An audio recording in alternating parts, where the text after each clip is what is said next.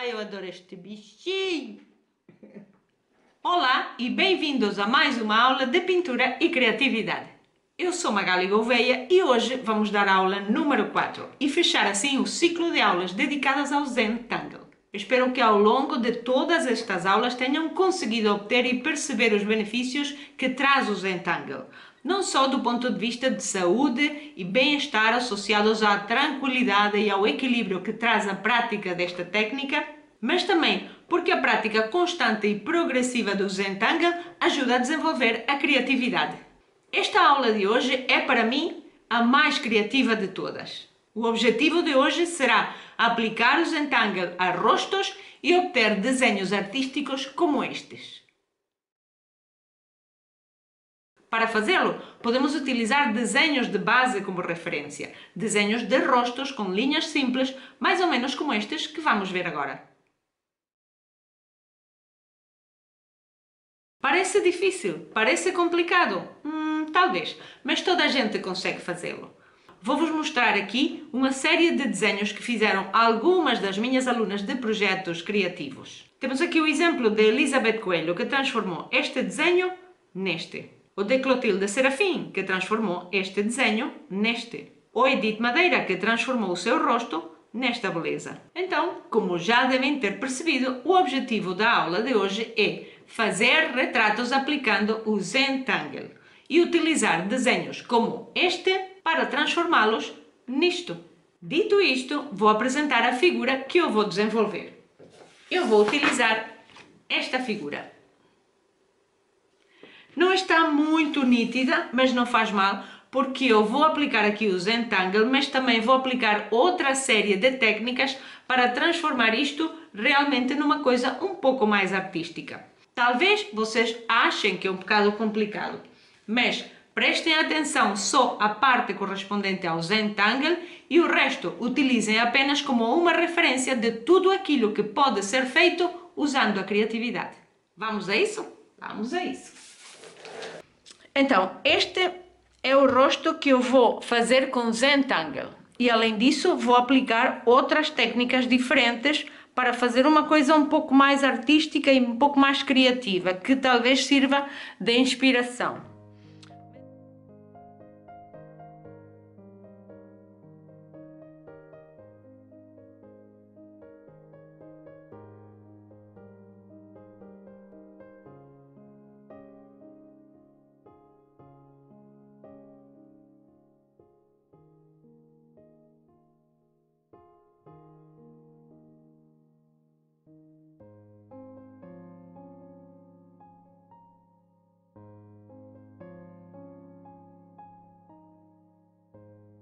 Ok, como eu disse que eu ia fazer ou utilizar várias técnicas neste desenho, eu vou me concentrar agora nesta parte porque se calhar aqui vou fazer outra coisa. Talvez vou aplicar um pouco de desenho com carvão e depois aqui fazer qualquer coisa um, um pouco mais, mais abstrata, digamos.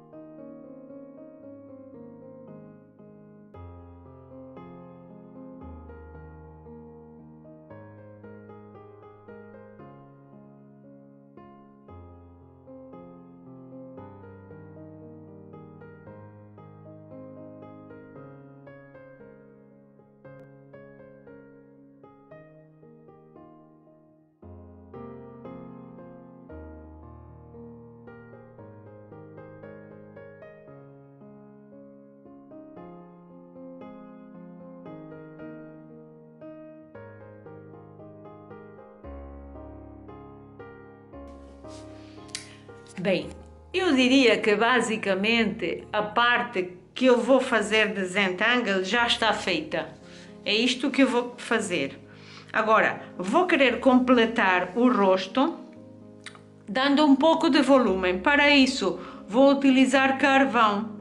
Eu vou gravar para vocês verem, mas isto não é uma coisa que vocês tenham que fazer, isto é uma coisa completamente à parte, não tem a ver com a técnica de Zentangle. Mas penso que pode ficar interessante e vou gravar para vocês verem também, ok?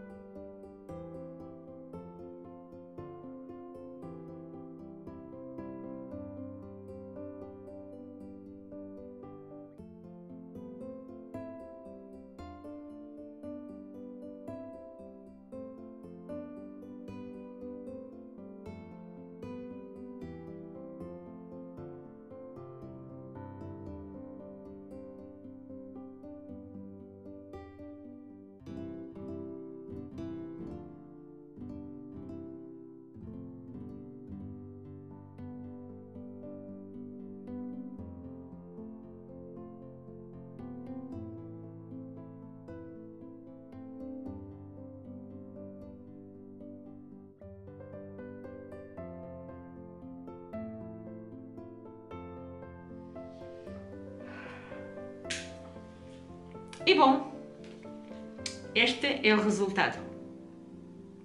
Espero que tenham gostado da demonstração. É uma coisa um pouco diferente, mistura Zentangle com desenho realista, com desenho abstrato. Espero que não só esta demonstração, como todas as aulas de Zentangle tenham sido do vosso agrado e que vocês tenham gostado e que vos tenha ajudado de alguma maneira a descobrir outra forma de fazer desenho, uma forma de ser mais criativo. Isto é tudo por hoje. Uma boa semana, bom trabalho e até a próxima aula.